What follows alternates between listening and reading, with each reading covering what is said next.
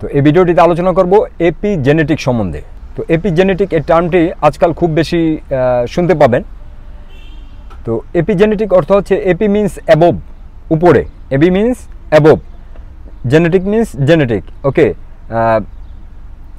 যার সম্পূর্ণ অর্থ হবে এরকম যে কন্ট্রোল অ্যাবোভ জেনেটিক এটা হচ্ছে নতুন সায়েন্স অনুসারে। নতুন সায়েন্স হচ্ছে কোয়ান্টাম সায়েন্স কিন্তু আমাদের যে চলমান যে সায়েন্স মেডিকেল সিস্টেম বা চলমান যে মেডিকেল সায়েন্স তাদের মতে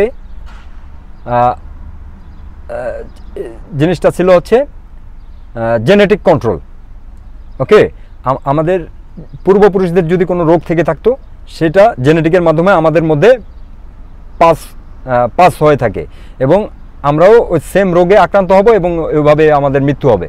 এটা হচ্ছে চলমান যেই সায়েন্স এবং মেডিকেল সিস্টেম তাদের মতে। কিন্তু নতুন সায়েন্স যেটা কোয়ান্টাম সায়েন্স তারা ডিসকভার করেছে যে না, আমরা জেনেটিকের দ্বারা কন্ট্রোল না ওকে আমরা যদি জেনেটিকের দ্বারা কন্ট্রোল হই, তাহলে তো আমরা ভিকটিম আমরা তো শিকার জেনেটিকের শিকার, আমাদের তো কিছু করার থাকে না, আমাদের, আমার বাবার যদি ক্যান্সার থাকে, তাহলে মাস্ট আমার এটা বরণ করে নিতে হবে। কিন্তু আল্লাহ কি এভাবে আমাদেরকে এই পানিশমেন্ট পানিশমেন্ট দিয়ে সৃষ্টি করেছে? না। তো এই, এইটাই আপনার ডিসকভার করেছে কোয়ান্টাম সায়েন্স তো কোয়ান্টাম সায়েন্সের মতে মানে ক্যান্সার এক্সাম্পল ক্যান্সার বা যত ধরনের রোগ আছে একটা মানুষের হতে পারে, সব রোগ কিন্তু আপনার আমার সবার মধ্যে আছে। ওকে সবার মধ্যে এগুলো উপস্থিত। এই, এগুলো, এই রোগের যে কজ সেগুলো কিন্তু উপস্থিত। এখন আপনি যদি আপনি যদি সিচুয়েশন তৈরি করে দিতে পারেন, ওই রোগগুলোকে এক্সপ্রেস হতে, ওই রোগগুলোকে বাইরে বেরিয়ে আসতে যদি দরজা খুলে দেন, তাহলে অবশ্যই ওই রোগগুলো বাইরে বেরিয়ে আসবে। কিন্তু সেটা আপনার উপর নির্ভর করে, আপনি কি দরজা খোলা খুলে দেবেন নাকি দরজা বন্ধ করে রাখবেন? তো সেটাই ডিসকভার করেছে অ্যাপিজেনেটিক তো যাই হোক একজন খুব বড় নাম করা সায়েন্টিস্ট যার নাম হচ্ছে ডক্টর ব্রুস লিপটন তার একটা বিখ্যাত বই যেটা হচ্ছে বায়োলজি অফ বিলিফ যেটা আপনি ইউটিউবে সার্চ করে দেখতে পারেন। ওনার ভিডিও আছে, বই বইটা সম্বন্ধে তার একটা ভিডিও আছে, প্রায় তিন ঘণ্টার মতো ভিডিও টোটালি উনি ডিসক্রাইব করতে, করছেন ওই ভিডিওতে যে পুরো বিষয়টা কীরকম ডিটেলস তো উনি একটা বিশ্ববিদ্যালয়ের সায়েন্স বিভাগে আপনার ক্লাস করাতেন। তো ক্লাসে উনি পড়াতেন যে আমাদের আমাদের জীবন কন্ট্রোল বাই জেনেটিক ওকে এভাবে এভাবে উনি শিখেছেন এবং এভাবেই পড়াচ্ছেন। কিন্তু উনি যখন ল্যাবের মধ্যে সায়েন্স সায়েন্টিফিক ল্যাবের মধ্যে, আজ থেকে মনে হয় চল্লিশ বছর আগে বা পঁয়তাল্লিশ বছর আগে সায়েন্টিফিক ল্যাবের মধ্যে যখন উনি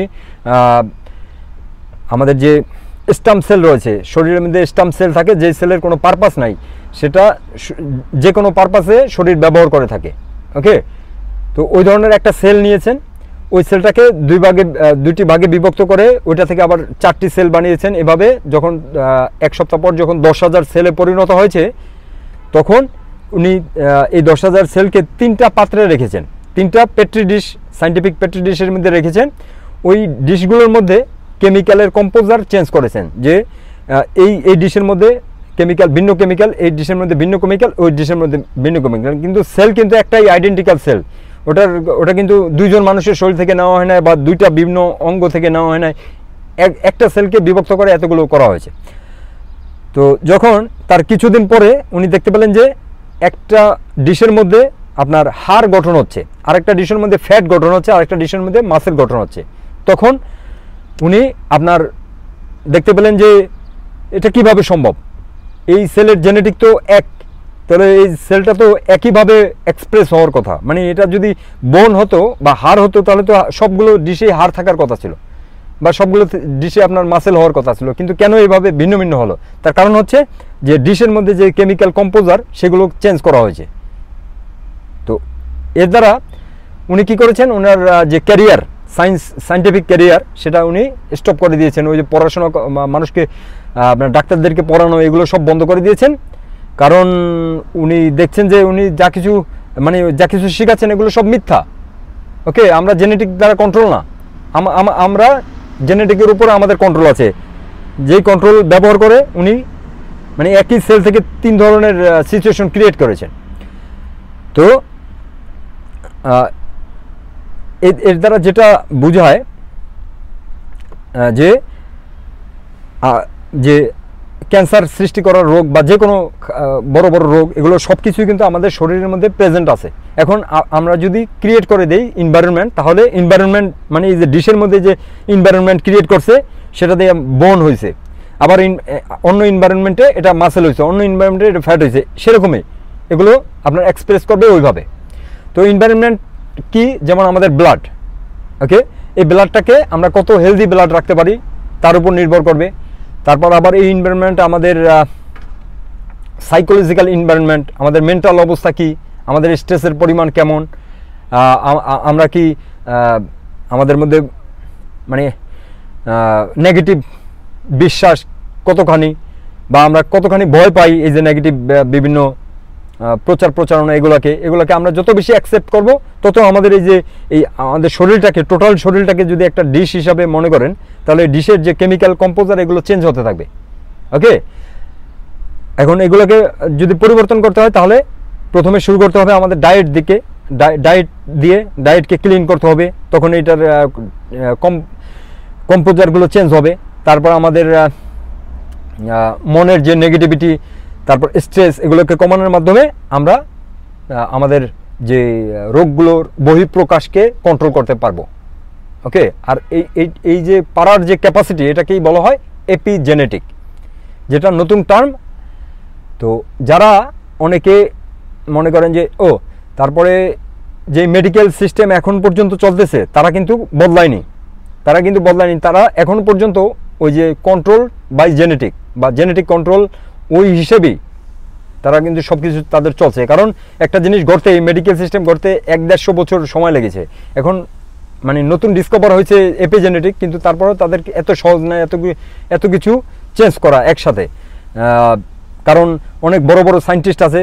শুধুমাত্র ওই ওই সায়েন্টিস্ট ব্রুস লিপটন উনিই শুধুমাত্র পদত্যাগ করেছেন। কিন্তু তার তার সাথে উনি বা আরও কয়েকজন, কিন্তু ব্যাপক ব্যাপক পরিমাণ আপনার সায়েন্টিস্ট কিন্তু পদত্যাগ করেনি, কারণ তারা প্রচুর পরিমাণ ইনভেস্ট করেছেন তার আপনার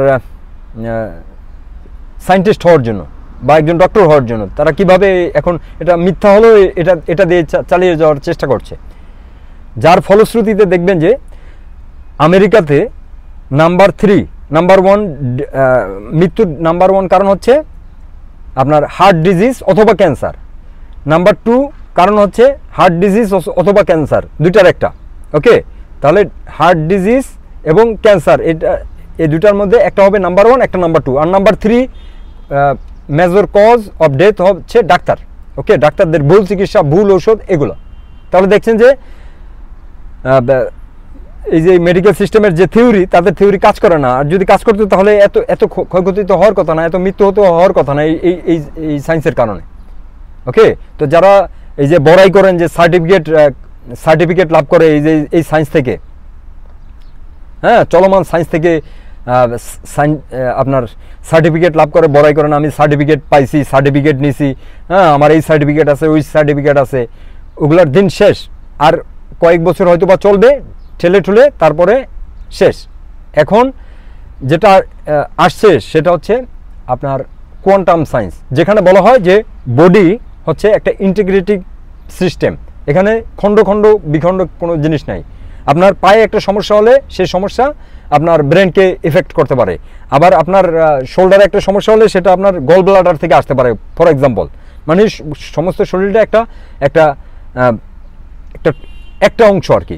এখানে ফিফটি ট্রিলিয়ন সেল সেল সেলের একটা দেশ। মনে করেন বডিটাকে কোয়ান্টাম সায়েন্স মনে করে যে বডিটা হচ্ছে একটা একটা দেশ। ওই দেশের মধ্যে পঞ্চাশ ট্রিলিয়ন মানুষ বাস করে। আর আপনি তাদের গভর্নর ওকে? আপনার ক্যাপাসিটি আছে এগুলোকে নিয়ন্ত্রণ করা, এগুলোকে ভালো রাখা, মন্দ রাখা। এভাবে দেখে, ঠিক আছে? আর চলমান সায়েন্স তারা তারা মনে করে বডিকে খণ্ড খণ্ড হিসাবে পার্ট হিসাবে। আপনার হাতে সমস্যা হয়েছে, হাতটা এখান থেকে কেটে, আপনার হাতটাকে যদি ফিক্স করতে পারে, করবে, নাহলে এখান থেকে কেটে ফেলে দিবে।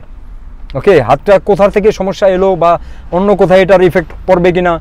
যেমন আপনার প্রায়শই দেখবেন যে গল ব্লাডারের সমস্যা হলে গল ব্লাডার ফেলে দেয়। অ্যাপেন্ডিসের সমস্যা হলে অ্যাপেন্ডিক্স কেটে দেয়।